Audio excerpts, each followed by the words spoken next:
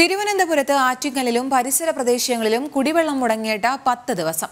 ആശുപത്രികളിൽ ഉൾപ്പെടെ ജലവിതരണം മുടങ്ങിയിട്ടും നടപടി ആരംഭിക്കാതെ അധികൃതർ റോഡുകളിലെ അറ്റകുറ്റപ്പണികൾ കാരണമാണ് ജലവിതരണം മുടങ്ങുന്നതെന്നാണ് അധികൃതരുടെ വാദം. ഇരുപത്തിനാല് മണിക്കൂറും സഹായത്തിനായി തുറന്നു വച്ചിരിക്കുന്ന ഹെൽപ്പ് ഡെസ്കുള്ള സ്ഥാപനമാണ് ആറ്റിങ്ങൽ വാട്ടർ അതോറിറ്റി. കഴിഞ്ഞ പത്ത് ദിവസമായി വാട്ടർ അതോറിറ്റിയിലെ ഹെൽപ്പ് ഡെസ്കിലെ ഫോണുകൾ ബെല്ലടിക്കുന്നതല്ലാതെ ആരും എടുക്കുന്നില്ല. ആറ്റിങ്ങൽ കോർപ്പറേഷൻ മേഖല ഉൾപ്പെടെ ആറു ഗ്രാമപഞ്ചായത്തുകളിലാണ് രണ്ടാഴ്ചയിലേറെയായി കുടിവെള്ള വിതരണം മുടങ്ങിക്കിടക്കുന്നത്. പ്രാഥമിക ആരോഗ്യ കേന്ദ്രങ്ങളും താലൂക്ക് ആശുപത്രി ഉൾപ്പെടെ ജലവിതരണം മുടങ്ങിക്കിടക്കുന്ന അവസ്ഥയാണ്. അറ്റകുറ്റപ്പണികൾക്കായി റോഡ് കുഴിക്കുന്നതാണ് പൈപ്പ് ലൈനുകൾ പൊട്ടാൻ കാരണം.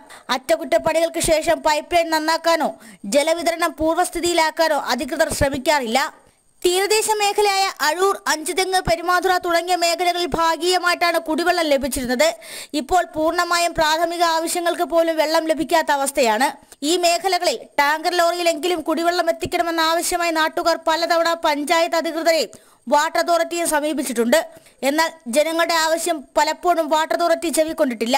പഞ്ചായത്ത് അടിസ്ഥാനത്തിലെങ്കിലും കിണറുകൾ കുഴിച്ച് കുടിവെള്ളം ലഭ്യമാക്കണമെന്നാണ് ഈ പ്രദേശത്തുള്ളവരുടെ ആവശ്യം.